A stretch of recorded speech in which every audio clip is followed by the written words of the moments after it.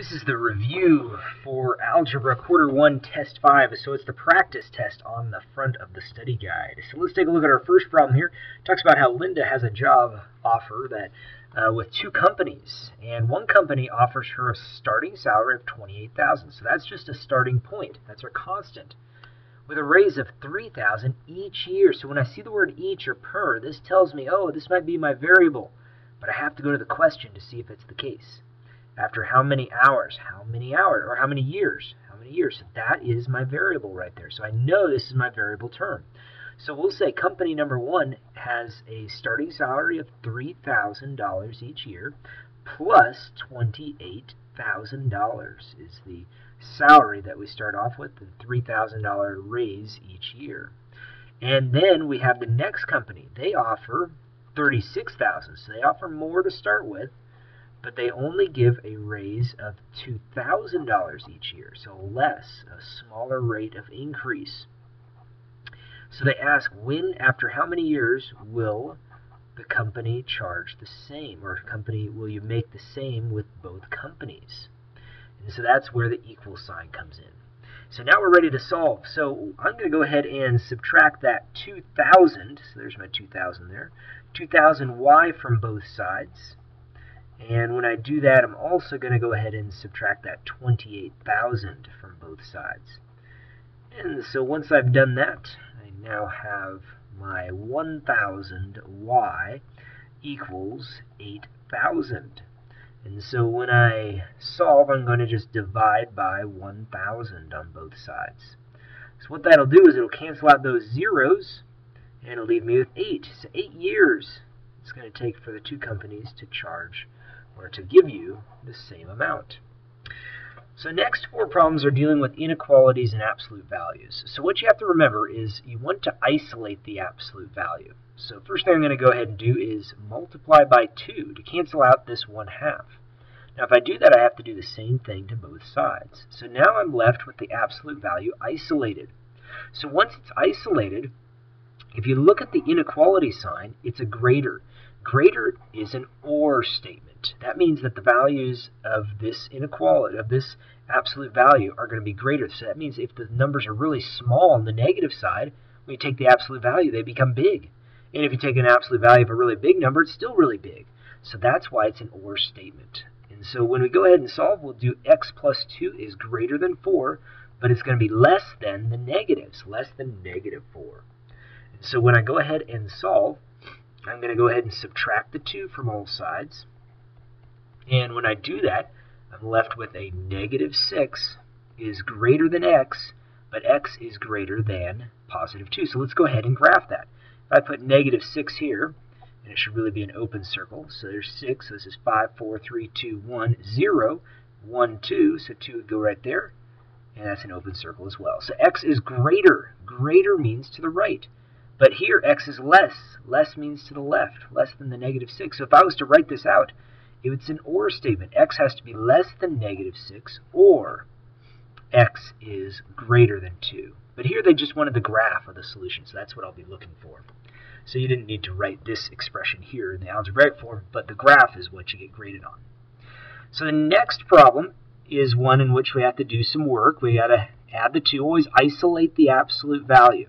So 5 multiplied by the absolute value of x minus 3 is less than 25.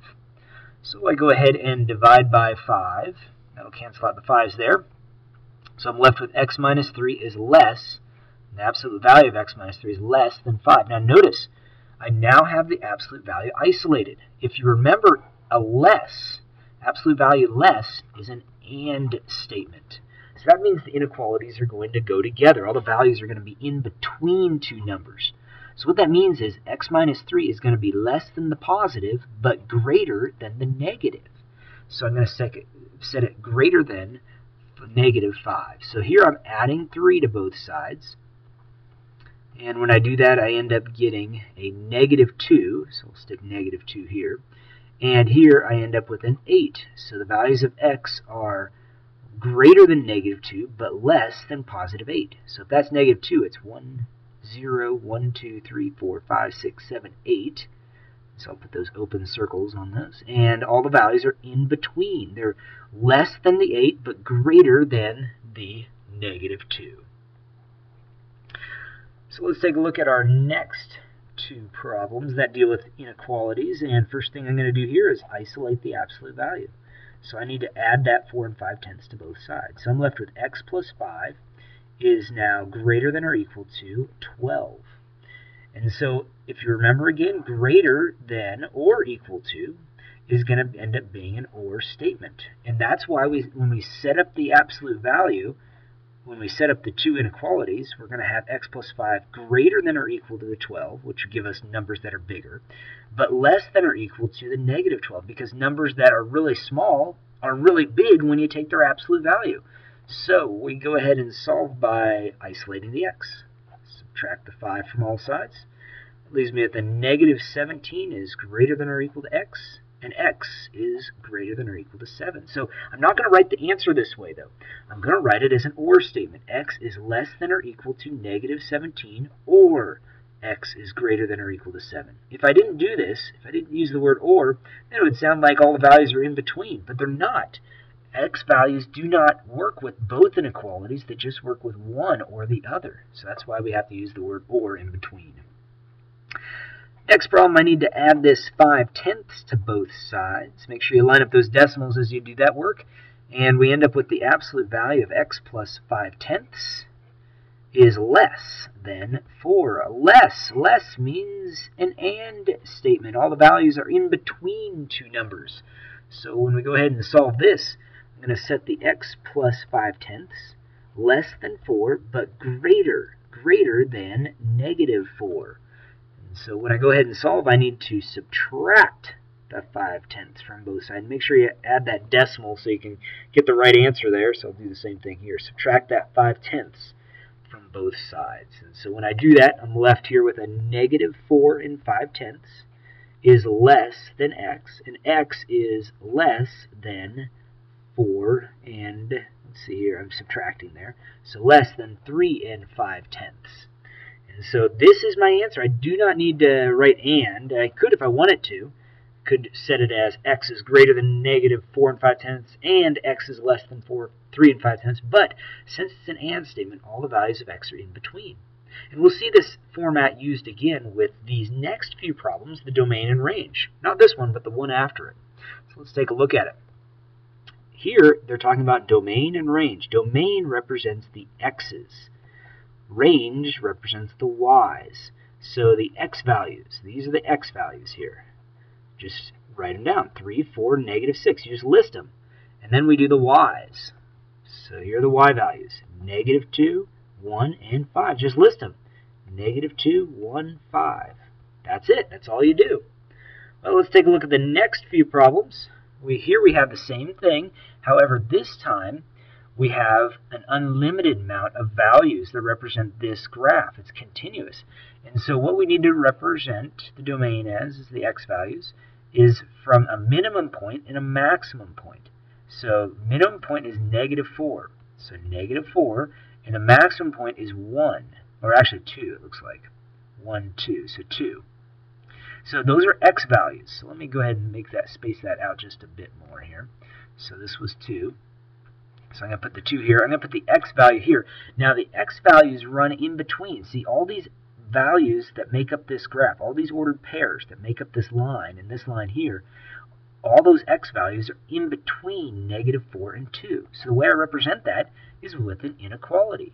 So x is less than or equal to 2, so all the values less than or equal to 2, but they are greater than or equal to negative 4. So if I graph that down here, you see here's negative, here's 2, here's negative 4. All the values are in between these points, but including them as well. So all the values from 2 to negative 4.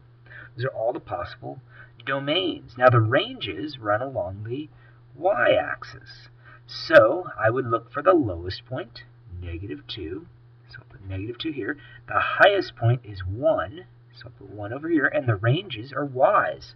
So the ranges run from negative 2 to 1. And they're all the values in between those numbers as well. So that's why I use that inequality. y is less than or equal to 1, but greater than or equal to negative 2. Next problem talks about a function. A function is when you have domains that only have one range.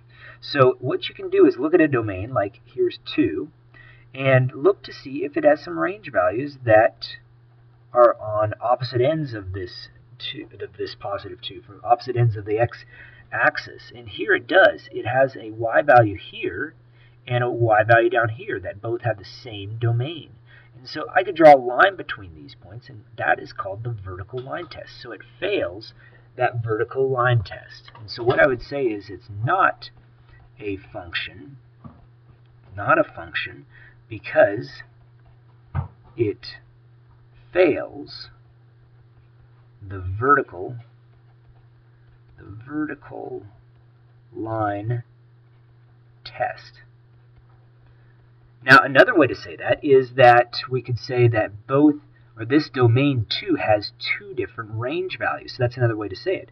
The domain, the domain 2, if it was to be a function, can only have one range. But here, the domain 2 has two ranges.